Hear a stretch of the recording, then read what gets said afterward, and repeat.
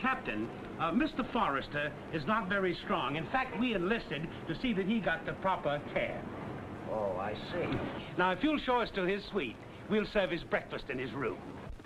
Let's steal a ride back to camp. Okay. Come on.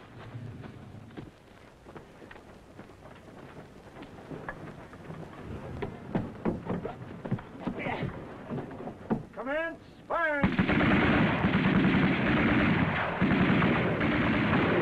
What's that?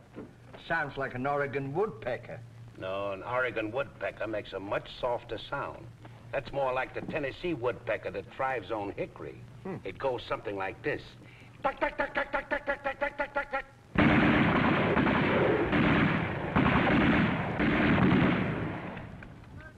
Did I hear shooting? No, that was you imitating a woodpecker.